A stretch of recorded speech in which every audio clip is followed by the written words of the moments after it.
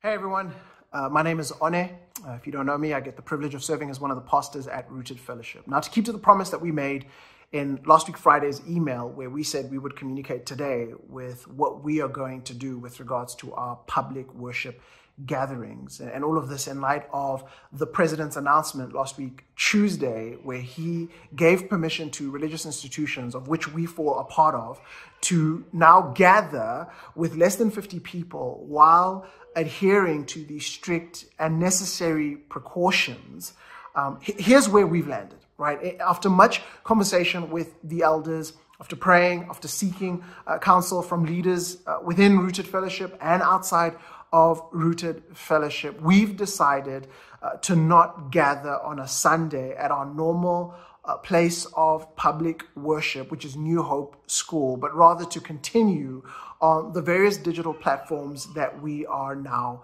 on. Now, this was not an easy decision to make. Uh, we had to take a lot of factors into consideration. And so I'm just going to share a few of those with you.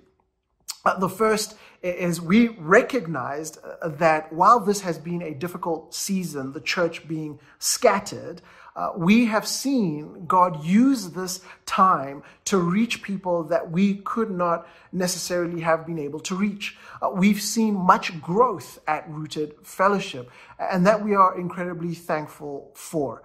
And so we just want to recognize the Lord in that. We want to celebrate Him in that. Um, and we want to continue to press in as we monitor what's going on around us. We want to press into these various digital platforms that we are now on. We've also heard feedback from you, and many of you are, are very thankful for what we have been doing. Uh, you speak about how you have grown in this season, and so we are thankful for that. Another reason that we had to take into consideration was that we don't own the space that we meet at. Uh, that New Hope has been so generous to us to allow us week in and week out to go in there and make uh, that space our home.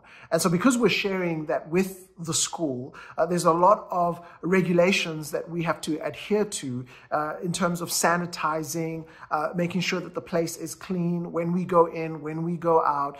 Um, and so, we just said to ourselves, with the number that we are now, we would probably have to have four, five, six gatherings on a Sunday. And so, the amount of uh, cleaning and sanitizing, the expense of all of that, uh, right now, we just felt that that was not the best decision. That wouldn't necessarily be the best stewardship of what the Lord has given us.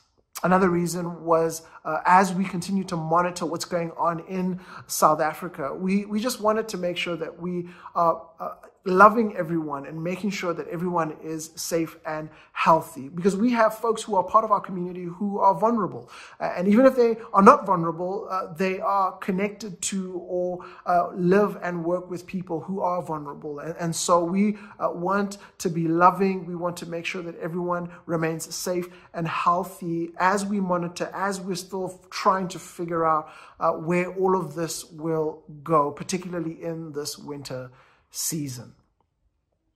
Now, I know that there's a number of people who feel differently about this. There's some who are saying we should meet, we should get together. Uh, there's a number of you that are saying we shouldn't. We're asking that in this season, as we continue to monitor, as we continue to seek counsel, uh, that you would be gracious, that you would be patient, and that you would seek unity.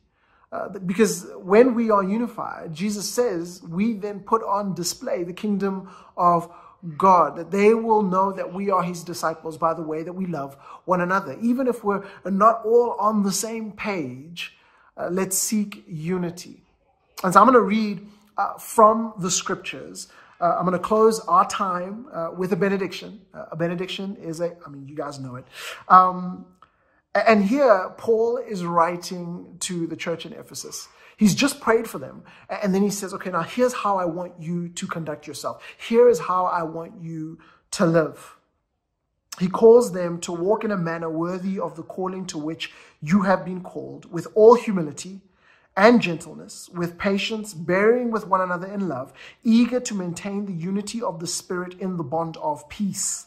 There is one body and one Spirit, just as you were called to the one hope that belongs to your call one Lord, one faith, one baptism, one God and Father of all, who is over all and through all and in all. And so that's our hope as an eldership.